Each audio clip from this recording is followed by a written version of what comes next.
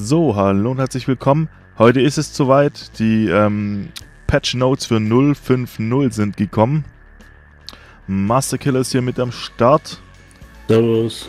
Und wir gehen jetzt mal ein bisschen die Patch Notes durch. Ähm, gucken, was jetzt für uns interessant ist, was euch vielleicht auch interessiert. Wir werden jetzt nicht auf jeden Punkt speziell eingehen und ein paar Sachen, müssen wir auch sagen, verstehen wir noch nicht so ganz oder wissen wir noch nicht ganz, was dahinter steckt. Aber das kennt man ja aus Patch Notes, vor allem wenn sie auf Englisch sind, man selber nicht so perfekt Englisch kann. Und man manchmal auch gar nicht weiß, was dem, was dem Schreiber da quasi hinter, hinter, hinterherkommt oder was an, an, an Inhalt dann dadurch freigesetzt wird. Bevor wir jetzt total verraspeln, fangen wir an. So, erstmal, es wird einen Wipe geben. Das ist bekannt und wird mit Sicherheit langsam jeder wissen. Ich denke, es ist cool, auf jeden Fall mal wieder einen Vibe zu haben und da wieder mal ein bisschen von vorne anzufangen und die Erfahrungen, die man jetzt gesammelt hat, im neuen Gang wieder auszuprobieren. Was denkst du da? Bist, bist du gegen Vibes oder bist du für einen Vibe? Also in dem Fall bei dem großen Update jetzt äh, bin ich auf jeden Fall dafür, weil es muss ja dann auch irgendwo mal wieder dann gleiches Recht für alle sein, wenn dann jetzt gerade viele neue Spieler dazukommen. Aber also in dem Fall finde ich, gehört es einfach dazu auch. Ja, denke ich auch.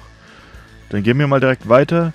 Es gibt neue Weapons. Ähm, hier, die sind hier aufgelistet. Ich habe zu jedem mal einfach ein Google-Fenster geöffnet, damit man weiß, was, darunter, was man sich darunter vorstellen kann oder was man sich darunter vorstellt. Ähm, ich wusste es davor nicht, vielleicht wisst ihr, aber wie gesagt, Google macht es möglich. Das SR1MP ist hier eine Pistole, sieht irgendwie ähnlich aus wie die Makarov. Gibt es natürlich auch wieder verschiedene Ausführungen. Ähm, lassen wir uns davon überraschen. Dann gehen wir, wo sind wir? Ähm, hier auf die AKMS. Darunter habe ich das gefunden. Ich denke mal auch wieder irgendwie eine äh, AKM mit einer speziellen Ausführung oder kleineren Ausführung. Des Weiteren kommt die AKMN. Die sieht hier zumindest mal auf den Bildern, wenn man dem feststellen kann, gibt ja auch wieder mit Hingriff, aber eben festen Holzgriff.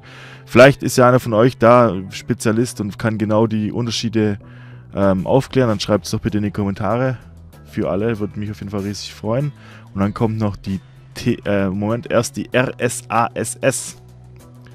Hier, das ist so eine, ähm, ich sage jetzt mal, Sniper-Gewehr, automatisch.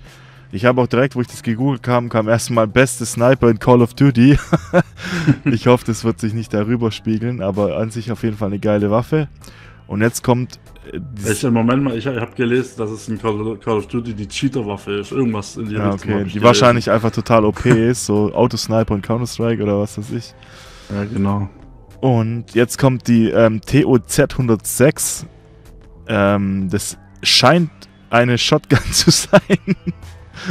Aber ganz ehrlich. Sieht auf jeden Fall ein bisschen strange aus. Ja, sieht ein bisschen strange aus. Hier gibt es dann auch Ausführungen irgendwie mit einem AK-Magazin und einem Visier obendrauf. Vielleicht ist es so die Good Old Sniper Shotgun, die man aus Battlefield 3 kennt. Ich weiß auch nicht natürlich, inwieweit man hier den Bildern trauen kann, aber sieht auf jeden Fall interessant aus. So, ja. Werden wir auf jeden Fall gespannt, was da kommt.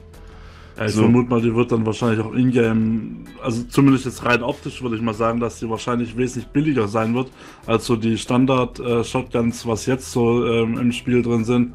Das ist vielleicht so ein, so ein Zwischenpart, die übernehmen soll, zwischen einfach nur mit Pistole oder halt gleich mit einer Shotgun. Ja, äh, ja. Könnte ich mir jetzt zumindest vorstellen, ich weiß es nicht. Gut möglich, ja. Oh, gerade Uhrzeit 13.37 Uhr, 1337. Ja, for the win. so, dann gehen wir weiter. Dann kommt das gefürchtete, berüchtigte Thermal-Sight-Visier, die Reaper IE, äh, IR.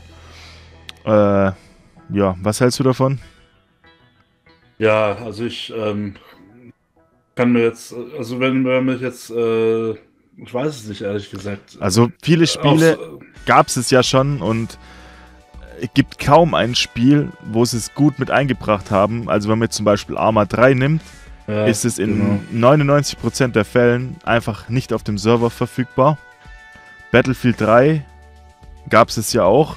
Da war es zwischen total OP und nutzlos. Also wurde es eben hin und her gebufft und genervt. Und ja, genau. Deswegen habe ich auch gerade so ein bisschen gestottert. Ja, ich, ich versuche mir eine Situation zu, vorzustellen, wo das wirklich sinnvoll ist. Einzige, wo ich mir das vorstellen könnte, äh, wäre so gerade zum Beispiel äh, auf Woods oder so, wo, wo viel Grün ist. Du bist also gerade da zwischen den ganzen Bäumen unterwegs. Da kann sowas ganz, ganz praktisch sein, aber andersrum wird es ähm, auch dein Sichtfeld natürlich auch wieder äh, extrem einschränken. Ja. Also es hat ja. immer so ein bisschen. Kommt aufs Balancing äh, drauf an, wie es ja, im genau, Endeffekt sich auswirkt wird ein wichtiger Punkt sein. Wenn natürlich die Weitsicht zu krass ist, also wenn du quasi auf 300 Meter leuchtende Leute rumrennen siehst, dann ist natürlich auf Woods oder auf Shoreline ähm, sowas von OP, dass du dir wahrscheinlich, keine Ahnung, wenn du nach 10 Metern natürlich nichts mehr siehst, keinen Farbunterschied oder keinen Helligkeitsunterschied, ist das Gegen Gegenteil. Also wir warten einfach mal ab, wir wollen es gar nicht so verschreien. Wir warten ab, wie es kommt, können wir eh nichts anderes machen und dann sehen wir weiter. Dann kommt der neue Helm der ist auch, ähm, also soll komplett modifizierbar sein. Hier unten sieht man verschiedene Mods, was man draufbauen kann. Zum Beispiel eben ähm, Headset oder eben stabilere Seitenarmor. Und also man sieht hier, man kann hier wirklich Armor-Punkte dazu adden mit Sachen. Auch hier zum Beispiel gibt es Visier und noch ein Ballistik, Face Shield.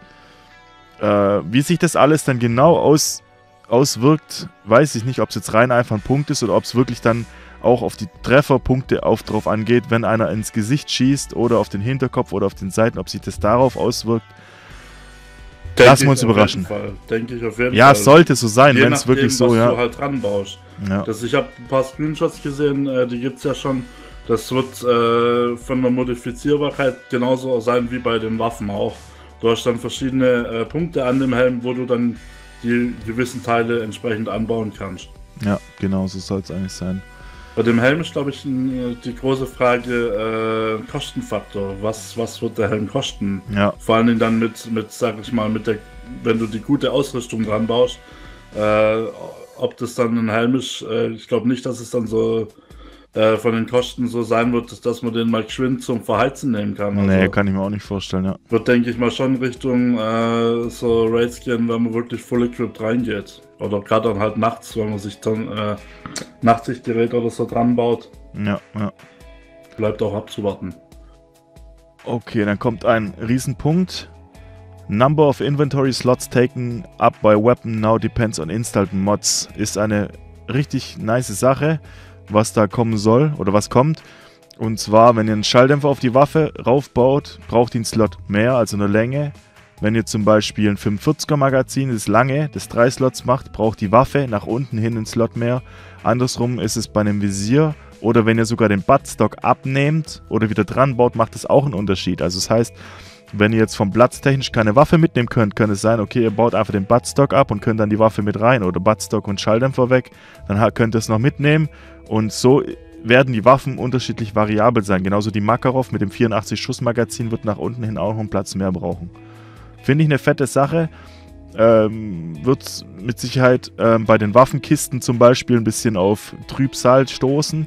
Aber ich denke, im Grunde genommen ist es eine gute Sache. Da muss man sich eben die Schalldämpfer und die Anbauteile wirklich extra lagern und vor, der, vor dem Raid sich die Waffe zusammenstellen. Finde ich extrem nice und freue mich auch drauf. Was denkst du davon? Dem gibt es eigentlich nichts hinzuzufügen. Ja, freuen wir uns bin drauf. Ich bin ja. da deiner Meinung eigentlich.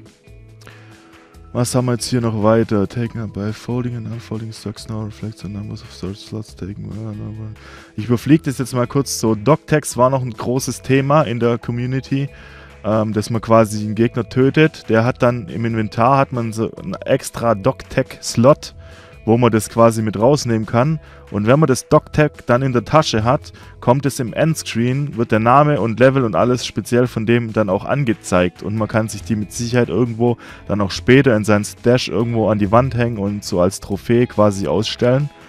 Finde ich ganz okay. Ist jetzt persönlich für mich jetzt nicht ganz so spannend. Ist mit Sicherheit spannend, wenn man eben hier den Cotton einfach mal abstraft als Beispiel und seine DocTag von dem Cotton hat ist vielleicht so als Prestige-Teil ganz cool, aber in 90% der Fällen sehe ich jetzt nicht so viel Sinn da dahinter. Was sagst du dazu? Ich überlege gerade, ich, ich bin da auch, also ich sehe es auch ein bisschen zwiegespalten. äh, einen, Cotton abzustrafen, man, äh, wie hoch ist die Wahrscheinlichkeit, dass man auf dem Server äh, mit dem landet? Äh, zumal Server ja auch natürlich äh, unterteilt sind in die verschiedenen Ja, das war jetzt nur ein Beispiel, dass man quasi irgendeinen Bekannten, den man halt kennt, so als Trophäe, die das TokTech hat, ist ja dann, wäre dann zum Beispiel schon was Besonderes.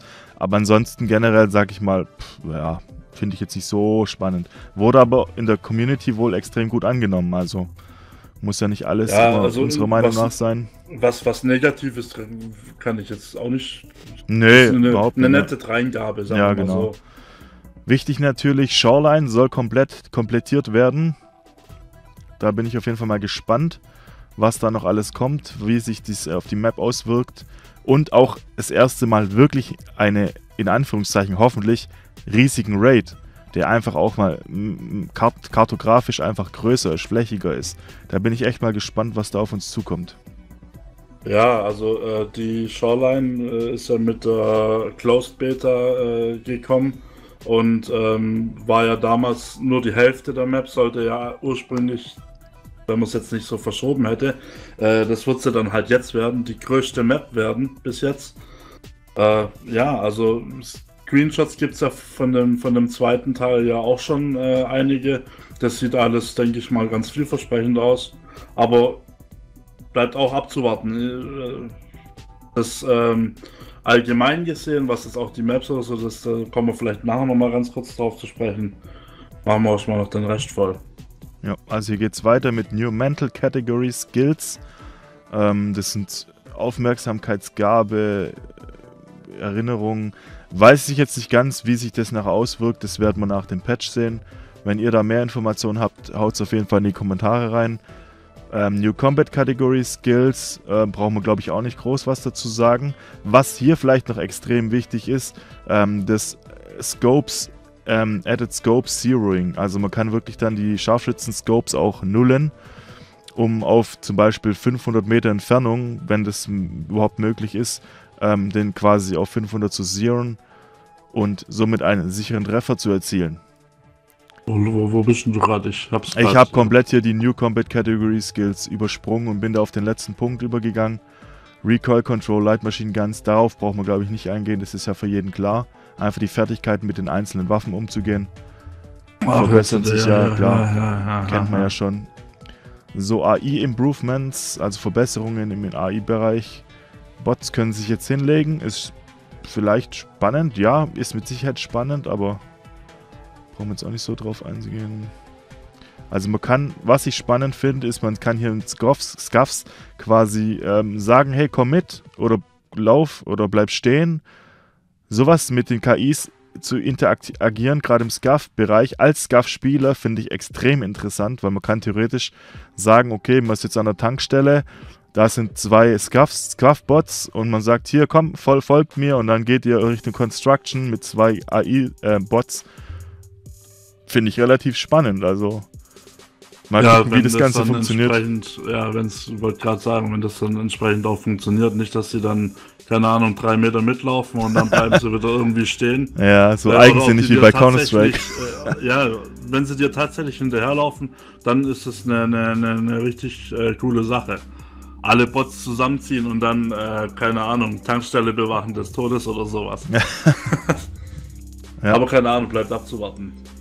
Ja, ich glaube, der nächste Punkt ist äh, der leidige Punkt, äh, ähm, was dem Spiel auch teilweise ein bisschen den äh, Spitznamen äh, Escape from Desync eingebracht hat, die gute alte Server Optimation, äh, ja, Optimization. Ja. Das steht aber, glaube ich, äh, auch in jedem Patch Notes drin. ja, das ist, das wird einfach übernommen und fertig. Ja, es gibt äh, auch Und das wird auch genug, bis zum ja. Schluss noch dastehen. Also Gut, aber das ist auch ein Punkt, das äh, muss man auch wieder sagen.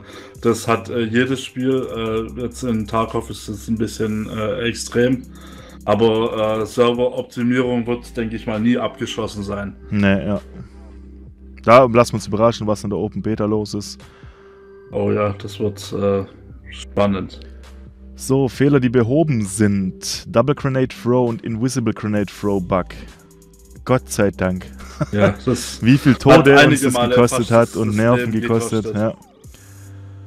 Ja. Ähm, hier, wo, was ist jetzt noch wichtig? Äh, Bug with shots not going through chain link fences ist auch mega nice. Wer alles schon mal probiert hat, durch einen Zaun oder durch irgendwelche Gitter durchzuschießen und da schier verzweifelt ist, sollte jetzt behoben sein. Bin ich mal gespannt, wie sich das auswirkt. Ja. Ja, ähm, weil da hat es mit Sicherheit schon den einen oder anderen. Man gibt seine Position im Prinzip ähm, offen, stellt sie offen dar und will den Gegner erschießen, sollte ihn auch haben und der Zaun oder Gitter hat einen Strich durch die Rechnung gemacht. Ja. So, was haben wir hier noch? Äh, hier ist, glaube ich, Changes. Brauchen wir jetzt nicht mehr groß eingeben. Ich werde auf jeden Fall den Link in die ähm, YouTube-Videobeschreibung reinposten. Da könnt ihr auch nochmal selber durchgucken. Und natürlich äh, schreibt auf jeden Fall in die Kommentare, wenn ihr uns irgendwo verbessern könnt, wenn wir irgendwas falsch gesagt haben aufgrund von ähm, Missverständnis oder Trans äh, Translationsfehler, also Übersetzungsfehler. Lasst uns da gerne berichtigen. Hier ist nochmal ein paar Screenshots zu, der, zu dem Scharfschützengewehr. Sieht auf jeden Fall mega nice aus. Des Weiteren schreibt natürlich eure Meinung in die Kommentare, was euch jetzt speziell freut oder was euch, was euch wichtig ist, was ihr gerne hättet, was ihr nicht habt oder was auch immer. Schreibt es in die Kommentare, gebt dem Video auf jeden Fall einen Daumen hoch. Abonniert den Kanal, wenn ihr nichts verpassen wollt. Und dann sage ich vielen Dank fürs Einschalten und bis zum nächsten Mal. Ciao. Bis zum nächsten Mal. Ciao.